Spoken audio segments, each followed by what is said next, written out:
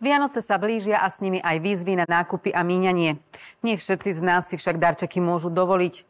Psychológovia hovoria, že radosť z toho, čo dostaneme, sa vyrovná radosti, keď obdarujeme. V relácii peniaze sa budeme venovať aj našej štedrosti. Sledujte nás.